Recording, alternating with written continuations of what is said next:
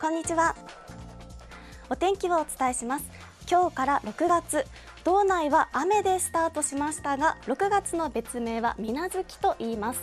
本州では梅雨に春入る頃で全国的には雨のイメージのある月です。それなのに水のない月と書くのには理由があります。今まで水のなかった田んぼに水を注ぎ入れる頃だからなんです。道内は雨でスタートしましたが雨雲の様子振り返ってみましょう。この時間までの雨雲の様子です。今朝広く雨を降らせた雨雲は東へとだんだん抜けてきました。この時間はごく一部で雨が降っているくらいです。ということで午後のポイントです。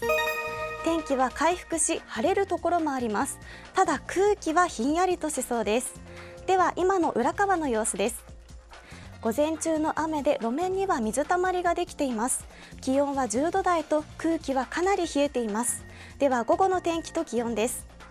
東北やオホーツク海側では雲がなかなか取れず最高気温は15度前後。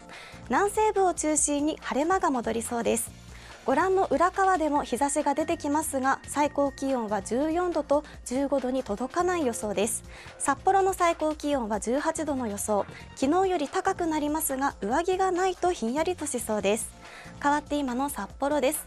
時折薄日も差していますが雲が広がっています。この先すっきりとした青空はなかなか期待できません。週間天気です。明日の札幌は昼頃から雨が降ったり止んだりしそうです。あさって金曜日は雨の範囲が広がり強い雨の降るところもありそうです。6月最初の週末はすっきりしない天気。北見などオホーツク海側で雨が降る予想。日曜日は特に気温が低く札幌の最高気温は14度と4月並みです。